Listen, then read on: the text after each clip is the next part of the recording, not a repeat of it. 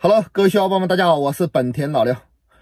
老刘这个旅行呢，基本就差不多结束了啊。今天是第八天，八天老刘开了七千公里啊。我们准备回西安了，因为我老婆她就西安人，准备在老丈人家待到月底，然后回去上班啊。那么我们出来一趟也不容易啊，然后会给大家总结一下用车方面的，还有旅游景点方面的。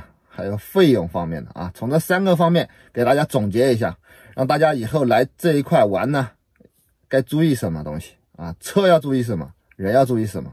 啊，我们说说那个车子的事情啊。首先，我们这个八天开了七千公里，这个不是一般人能做得到的，是不是啊？我连续连续三天超过一千公里以上的啊，最多的一天开一千三百多公里，其他的都是在一千公里左右。啊，这三天就开了三千四百公里，是不是很厉害啊？嗯，跟大家说一下啊，其实在这个地方开车真的一点都不累啊。为什么呢？因为这里的风景实在是太美了。我跟大家说啊，在国道上的风景比那些景区里的风景还要美啊。有些景区我就不恭维它了啊，那样的景点也能称为景点，也能收费啊。很多在国道上的那个景点。啊，比那个景区里的景点啊震撼的十倍甚至一百倍都不止啊！那那些景点都是免费的，所以说到这里来，你必须在路上多转转啊！什么样的地形地貌，什么样的风景都有。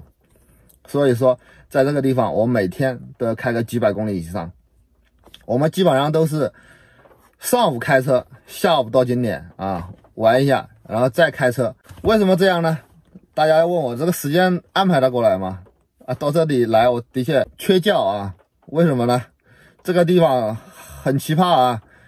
早上五点多钟天就亮了，我们就起来了。晚上到九点半天还没黑，你说变不变态啊？一天开多少个多少个小时的车？大家可以想象一下啊。但是在这里开车的确是个很幸福的事情啊，风景实在是太美了。还有在这里呢，开车一定要注意啊，这里的服务区。高速上的服务区啊很多，但是它这个服务区的功能呢并不完善啊。有些服务区什么都没有，就一块停车场让你停车啊。有些服务区呢它没有加油的啊。有些服务区呢连厕所都没有，还有有一些有服务区啊有厕所有加油站，厕所还是收费的啊。这里面这个地方很奇怪啊，所以说跟我们那边服务区完全不一样。那天我们停了一个服务区呢。半夜竟然关门的啊！有加油站啊，有有厕所，厕所是半夜锁上的，呃，加油站是半半半夜也是关门的，停业了啊！他们不是二十四小时营业的啊，只可能只有十二个小时营业的，所以说大家到这地方来啊，一定要注意啊！我第一次来也是也是挺震撼的啊！还有什么样的一个奇怪的事情呢？这边好像高速都是先收费后通行啊，好像是这么一个情况，哎。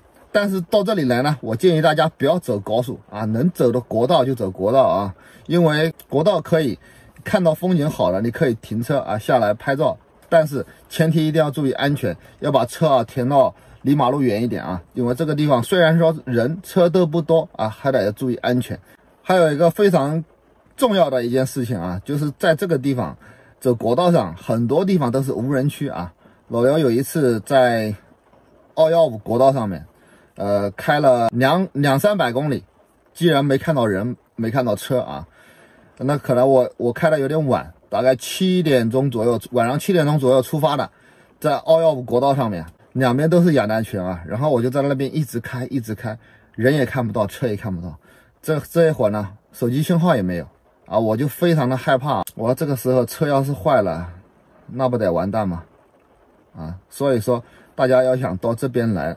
一定要把自己的车检查好，烧机油的车一定要多备两桶机油啊！不能开那些容易出问题的车啊！稳定性必须得好，不然给你搁在荒郊野外，你相信能吓死你。还有就是呢，这个当地这个地方啊，搞旅游比较发达啊，租车很方便啊，所以说可以到这边来租车。这里面租车呢，都是什么车呢？都是霸道、陆陆巡。呃，还有日产的那个途途乐，啊，这几款车非常非常的多。这个地方加油呢，还不是特别的方便啊。有的时候你跑三四百公里都没有地方加油。那么我们这个油箱一定得大啊！老刘这个车呢，油箱是五十七升的啊，老款，新款的是五十三还是五十四升啊？还小了四升。你知道这个五十七升的油箱其实并不大啊，但是在这个地方呢，它油耗是非常的低，在国道上开，如果说你不超速的情况下，都是在五点几的油耗，五点五、五点六啊，这个油耗能续航到里程能有多少呢？呃，正常的是是在八百七、八百八十公里左右啊，就是一箱油续航里程。大家知道吗？你的续航里程是多少？其实我们这个灯亮了啊，就是。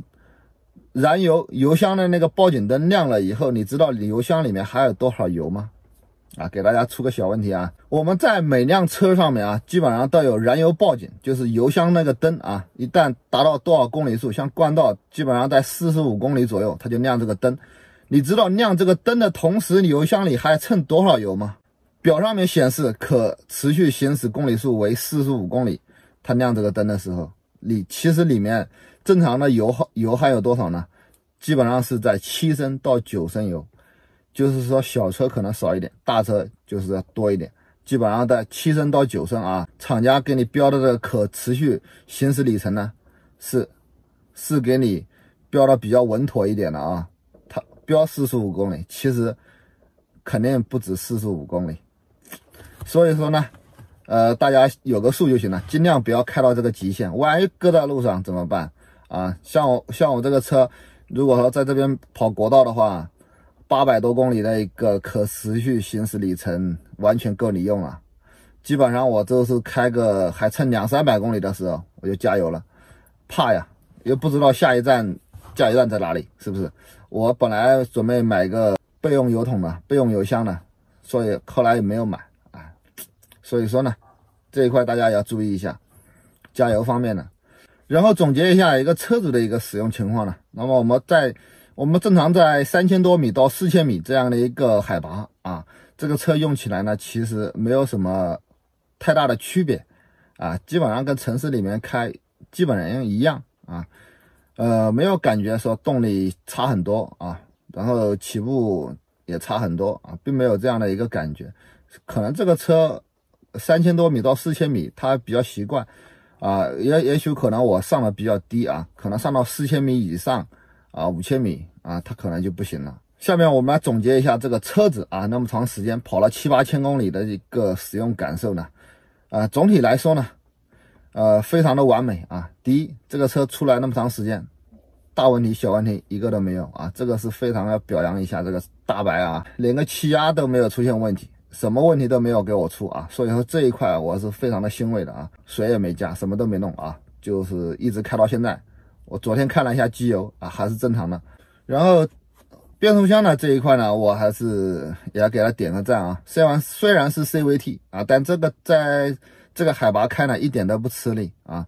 所以说动力总成这一块，包括这辆车整车表现都非常非常的棒，唯一。不棒的是什么地方啊？老刘要跟大家说一下，唯一不棒的地方就是这个减震啊，因为我这个是一点五的啊，没有配那个主动减震器啊，所以说在那个在我们在那个西台吉连尔湖那边有一段路啊，非铺装路面，颠的非常的凶啊。如果说配那种主动减震器，我估计会好很多啊。所以说两点零的冠道啊，它会有这样的一个配置啊。不知道是什么样的一个表现啊，所以说这一路下来，这个车我什么都感觉非常的完美，唯独就是在减震器这一块啊，在那个非铺装路面，你开的慢，它反而颠的凶。我正常开三十左右，三十到四十这个样子，还还颠的反而凶一点。所以说在那个路面上啊，你不能开的太慢，太慢反而颠的更凶。是开快了呢，最多就震动稍微大一点啊，但是没有车子晃来晃去那种，晃得很厉害那种感觉啊。嗯，其他方面啊是非常的不错啊，我要表扬一下，特别是这台车的一个空间啊，这个空间真的给我省很多很多钱。然后你知道现在这个景区附近的宾馆啊多少钱一晚吗？